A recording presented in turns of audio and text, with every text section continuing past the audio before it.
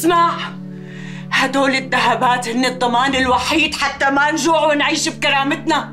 لك انت وين مفكر حالك عايش؟ بالمدينة الفاضلة. ولك اصحى على حالك زمن التضحيات والأخلاق راح. هذا الزمن اللي عم تحكي عنه ما راح. وأنا ما راح غير طبعي. عمل لك رفيقي بزنقة ذهباتك بكرة بدك تبيعيهم وإجرك فوق رقبتك. وهدول تعتبريهم دين علي. إيه؟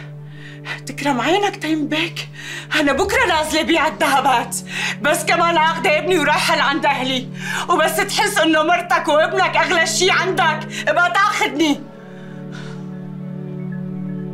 خير تيم شباك.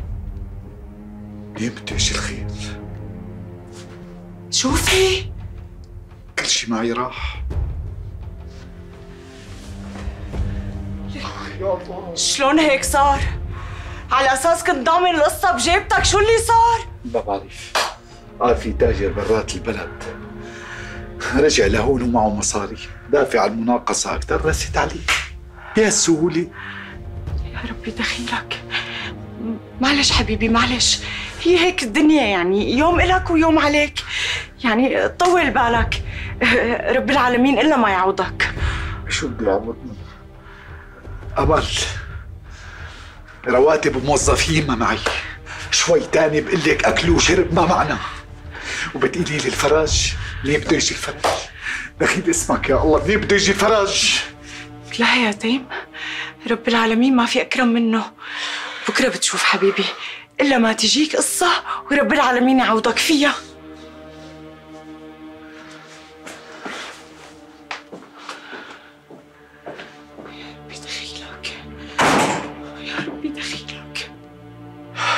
لا تواخذني يا أستاذ.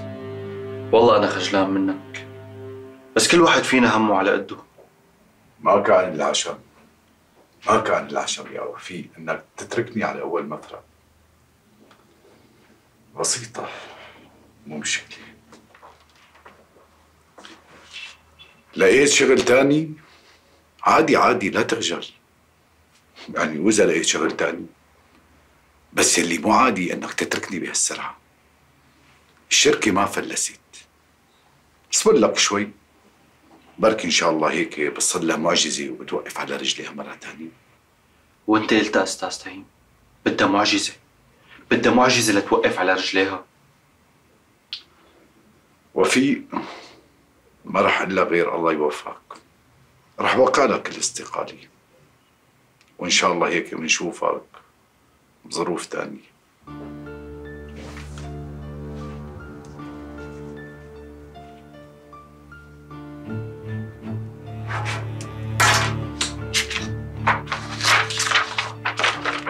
تفضل.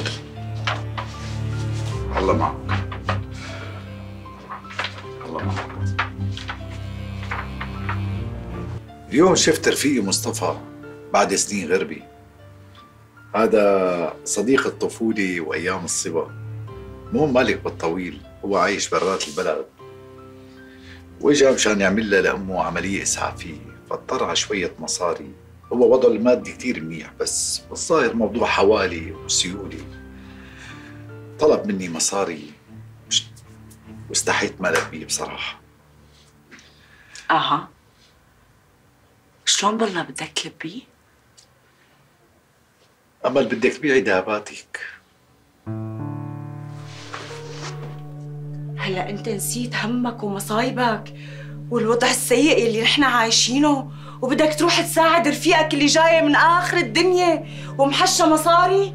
لا وشو؟ بدك تساعده بذهباتي؟ اسمع هدول الذهبات هن الضمان الوحيد حتى ما نجوع ونعيش بكرامتنا. لك انت وين مفكر حالك عايش؟ بالمدينة الفاضلة. ولك اصحى على حالك زمن التضحيات والأخلاق. راح! هذا الزمن اللي عم تحكي عنه ما راح. وأنا ما راح غير طبعي. عمل لك رفيقي بزنقة. ذهباتك بكرة بدك تبيعيهم وإجرك فوق رقبتك. وهدول تعتبريهم دين علي. إيه؟ تكرم عينك تيم بيك أنا بكرة نازلة بيع الذهبات.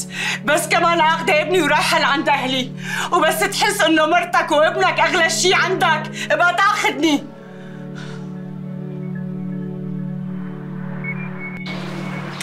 لك روح الله يجبر بخاطرك يا أبو التيم. يعني أنت وقفتك معي ما رح انسى لك إياها بنوب. لك أنا ما كنت رح أعرف شو كنت رح ساوي.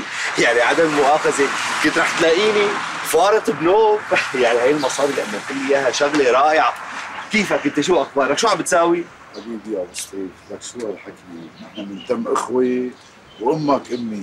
أنت شو أخبارك؟ لك أنا الحمد لله. ها. برجع بقول لك وقفتك معي هي لحالها. يعني رجعت لي الروح. وشوفت عينك يعني. أمي اخ الله يخلي لك أمك يا رب. يا أخي الأم غالية. أنا والله يا حبيبي ما في شيء. يعني رجعت من برا وعملت شركة صغيرة هون وفت مناقصة وحطيت كل شيء معي. لك والحمد لله ربحت. لك الحمد لله. بس خيو أنا برات الشام ما راح أطلع. خلاص أخي أنا ما بقدر. لا بعد عن الشام ولا عن هواها. أنت كيفك؟ البيت كيفه؟ لك أمولة مرتك كيفها الحمد لله. ناح ناح الحمد لله. لك الحمد لله دائما وابدا. لك دخيل قلبك. يا حبيبي يا أبو لي شوف لي آه لك دخيل. الله. خلونا نشرب لنا فنجان. شرف شرف شو يا أمل خانم؟ مشان شوية ذهبات بعتيني بأول الطريق. لا حبيبي أنا ما بعتك. وأكيد ما هانت علي عشرتنا. أساسا كنت ما لقيتني هون يعني لو بيهون علي. بس أنت كمان اللي عملته ما بيتصدق يا تيم. لك شلون ما بتصدق عم لك رفيق أمري رفيق أمري بورطة. أمه تعبانة وحالتها خطرة وبده يعمل لي عملية. ما بدك ياني ما لبيه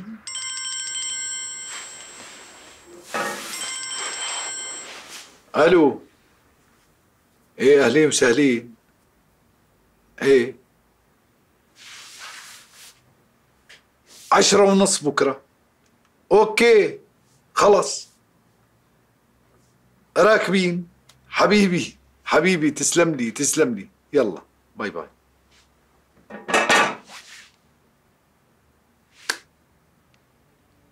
مين؟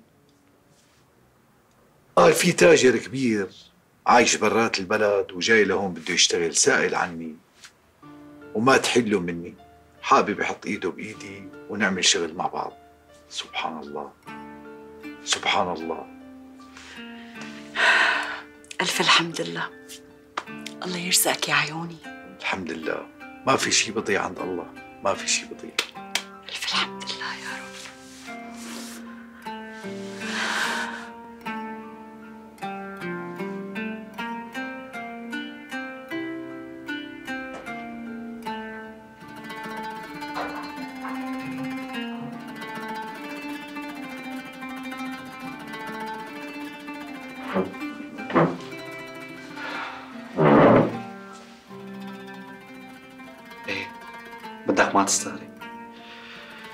أنا وفيق اللي خذلك وتركك بأعز حاجتك إله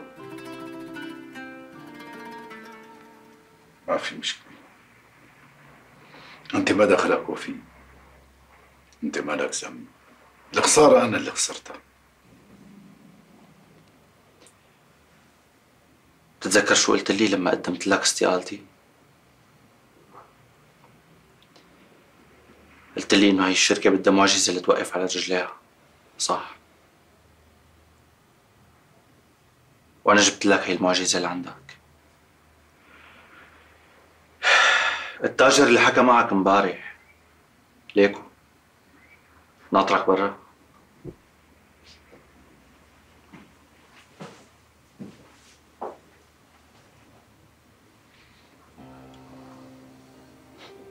مصطفى.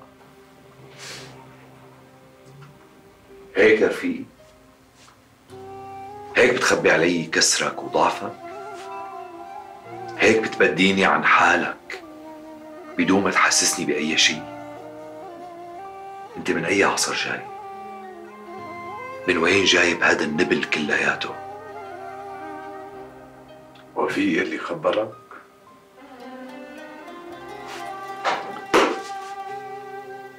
ما بيهمني خبرني.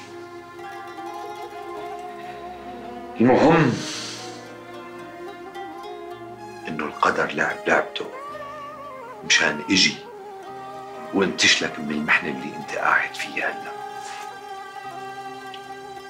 لا تكبر القصة وسطيف لا تكبرها القصة أكبر بكتير من هيك.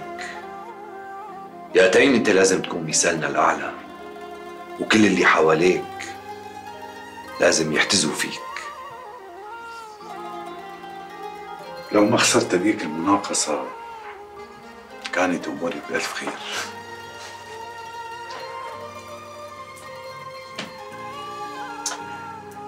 دخلك بتعرف مين هو المغترب اللي خسرك هي المناقصة؟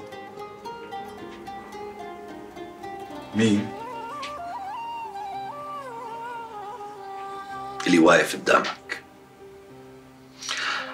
أنا أنا اللي خسرتك هاي المناقصة وما كنت بعرف إنه أنت المنافس لإلي. مشان هيك كل أرباح الشركة تبعيتي رح تكون بيني وبينك.